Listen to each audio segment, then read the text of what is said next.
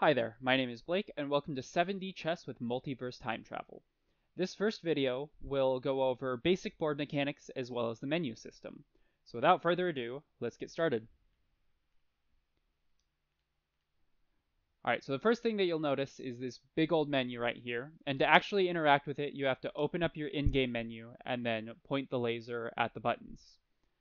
Up here we have main game controls where you can join as either player, reset the board, or update your local network state. Down here we have two piece interfaces where you, which you can recall with the buttons above to their original position as long as you are joined as the player that they belong to. Here we have some important information that will be helpful to read involving uh, victory conditions, uh, actually interacting with the menu and whatnot, as well as up here we have turn controls where you can clear and submit your turn and have a clear indicator of whose global turn it is. So once I want to start playing, we'll click join as either one of those players, and you should see that your name pops up in the field above. And then you'll go over here and grab the piece interface that belongs to you. So now if I wanted to move White's piece, I will click on that piece with the interface, and then I will uh, decide which one of those to move to. So you see the visualizer shows up and it shows a transparent cube on which piece you have selected. It shows green squares on boards that you can move to, and then it shows red squares specifically for the pawn to show you moves where it could take if it were capturing another piece. Uh, if I select the rook here, you'll see that it doesn't take into account if a piece is blocking it, so that is something you'll have to watch out for yourself. Uh, I can attempt to make that move, but the game will prevent me from doing anything illegal.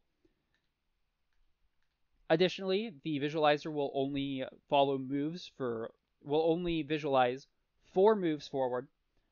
Uh, so in cases where you can move more than that, the visualizer will stop and you'll kind of be flying blind. But typically by the time that happens, you have a good enough understanding of the pieces to understand that it is valid, and then the move checking will let you do it anyways. So once I want to actually make a move, I'll click on a piece and click a valid position afterwards, and it will spawn in a new board where that piece has been moved. The tile that the board spawns above indicates whose turn it is to move a piece on that board. Uh, so on this, it is black's turn to move the board. However, it is still my global turn, so I'm going to go ahead and submit that, and that will allow my opponent to make a move. So then your opponent will be able to move their piece similarly and submit their turn. Now don't worry too much about this next move, it'll be covered in a future video, uh, but for demonstration purposes I will go ahead and move that knight there, and you'll see that there are now two possible boards for my opponent to play on. So now black can either move a board here, move a board there, or move both boards. However, in order to submit their turn, on any board where it is their turn locally and they have a green indicator above, they must make a turn. So if I were to move a piece here, uh, I still have that indicator above a black tile, so it would not allow me to submit that turn.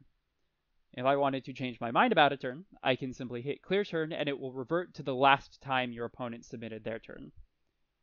So now, finally, if I make a turn on here, the green indicator pops up above a white tile, which means it is now okay for me to submit my turn and hand control over to white.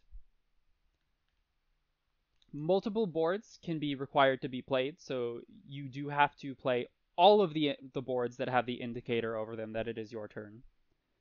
And there are conditions in which the boards may not be required even if they're further in the past. Uh, but that will be covered in a later video. As a final closing note, there are a couple game mechanics that are absent. Uh, we the game does not automatically check for checks or checkmates, so that is something that you will have to do yourself. It is tech because of the complexity of the game, it's not technically required to call check or checkmate. However, it would be much better sportsmanship to do that if you are capable of it. Uh, it it's it's pretty easy to overlook something in in this game. So if you suddenly see something, there is no shame in simply taking the king and declaring your victory. The other note is that you only need to capture one of your opponent's king across any timeline, including the past, to emerge victorious. Further details will be elaborated on in future videos, uh, but for now, that is the, basi- the basics of the mechanic.